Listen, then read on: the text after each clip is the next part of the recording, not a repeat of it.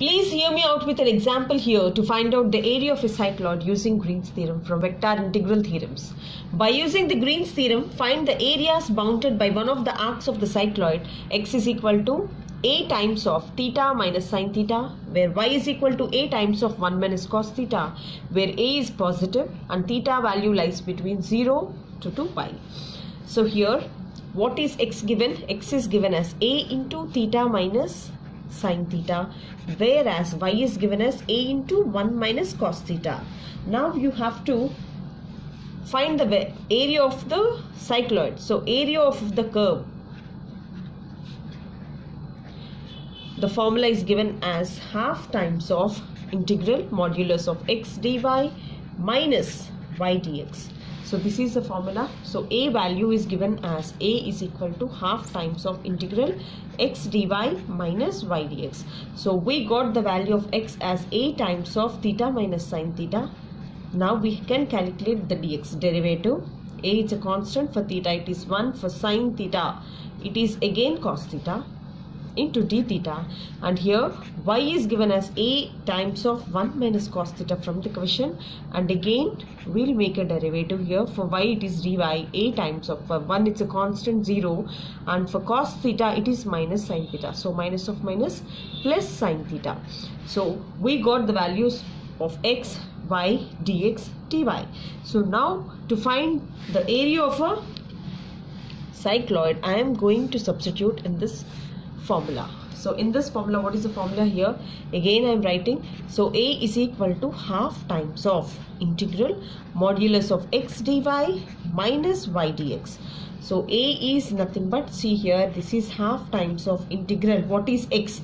X is nothing but a into see here a into theta minus sine theta. And what is dy?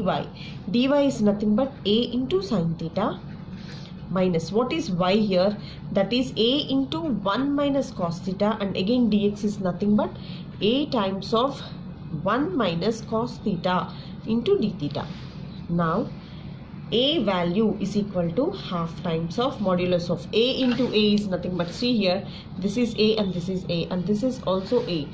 So if i take a a square this will be theta into sine theta is nothing but theta into sine theta minus sine square theta and here this is a square times of 1 minus cos theta whole square of the d theta. So if I take a square common here a square by 2 modulus of this is theta sine theta minus sine square theta minus this is a square plus b square minus 2ab into d theta. So again if I multiply this one that is a square by 2 times of theta sine theta minus sine square theta minus if I multiply this is minus minus cos square theta plus 2 sine theta of d theta.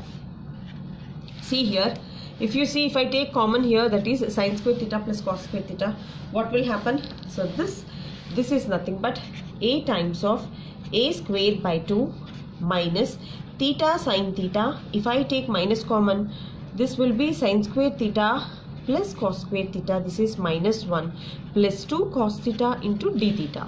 So this will be a value will be a square by 2 times of theta sine theta minus 1 this is minus 1 minus 1 plus 2 cos theta into d theta. Now the next thing we have to do is so A is equal to A is equal to A square by 2 integral modulus of theta sine theta minus 2 plus 2 cos theta of d theta. Again we have to integrate. And the limits here it is shown in the question that the theta value varies from 0 to 2 pi. And here I am going to write as theta varies from 0 to 2 pi. Now I am going to calculate the area here. So the area is a square by 2 integral 0 to 2 pi theta sine theta minus this is uh, 2 times of so this will be 2 plus uh, 2 cos theta into d theta. So this will be of which rule? UV rule. So this is u and this is v. As you know that u you have to leave as it is.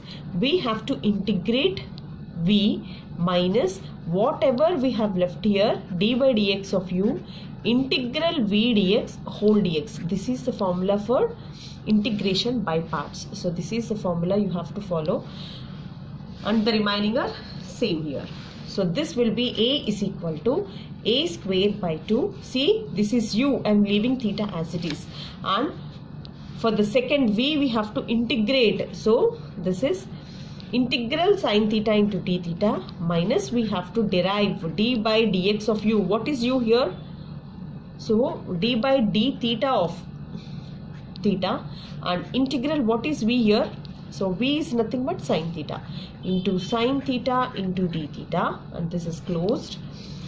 Minus 2 times of integral d theta is nothing but theta and for 2 for cos theta it is a sine theta. Between the limits which limit? 0 to 2 pi. Slowly i'm going to calculate this one.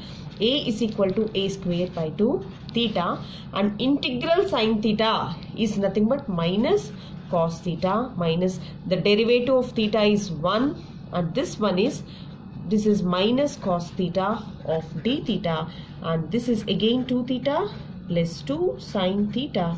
Between the limits 0 to 2 pi.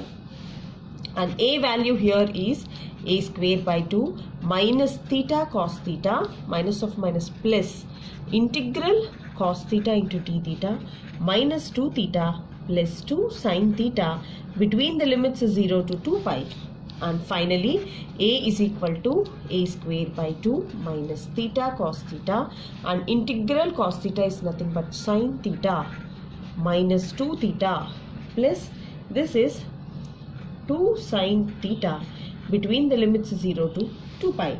So now we have to substitute the upper limit minus lower limit. For that a is equal to a square by 2. I am substituting the upper limit as 2 pi minus 2 pi. This is cos 2 pi plus sine 2 pi minus 2 times of 2 pi plus 2 times of sine 2 pi minus the lower limit I am showing here 0 into anything is 0 and this is plus sine 0 minus 2 times of 0 plus 2 into sine 0 so this is upper limit minus lower limit. Please note these values cos 2 pi is equal to positive 1 and uh, sine 2 pi as you can see the value here is 0 and here and sine 0 value is also 0 and so these are the values which we have to substitute here and the a value here will be this is a square by 2 minus 2 pi. What is cos 2 pi? Cos 2 pi value is 1 and sine 2 pi value is this is 0 and this is also 0 and here what is left over? This is uh, 4 pi to 2 is a 4 sine 0 is also 0 and here this value is 0 and this value is 0 and only these two are left over.